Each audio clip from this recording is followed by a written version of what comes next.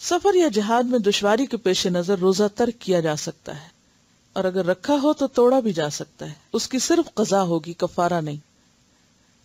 अनिबन अब्बास रदी अल्लाह रसूल अल्लाह सल्लल्लाहु अलैहि वसल्लम खरज इला मक्का फ़ी रमदान, फसाम, फलम्मा बलग अल कदीदा अफ्तरा, फअफ्तर अन्नास मुत्तफकुन अलैहि।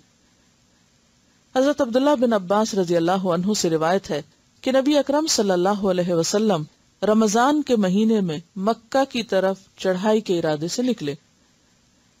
जब मकाम कदीद पर पहुँचे तो आपने रोजा तोड़ दिया और लोगों ने भी रोजा तोड़ दिया, यानी आपको देखकर।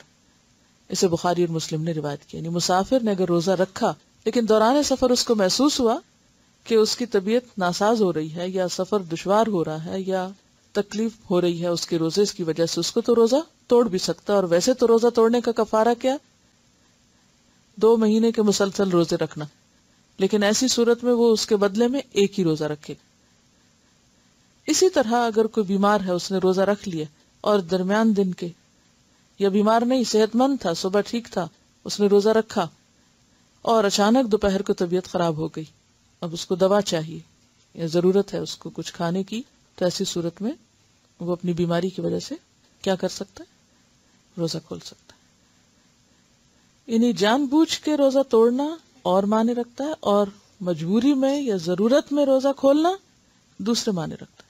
या उसका हुक्म दूसरा होगा।